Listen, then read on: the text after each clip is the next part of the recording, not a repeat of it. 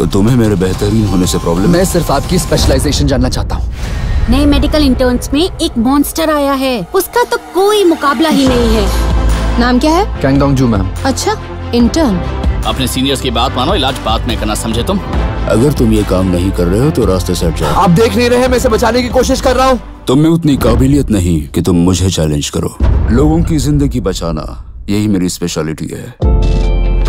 कितनी boring life है तुम्हारी। ना कोई दोस्त है ना कोई गर्लफ्रेंड तुम उसे सबक सिखा रही थी या उसके साथ फ्लर्ट कर रही थी? ज़िंदगी से भाग क्यों रहे हो? यहाँ मेरे जैसे डॉक्टर के पास सक्सेस पाने का सिर्फ़ एक ही तरीका है?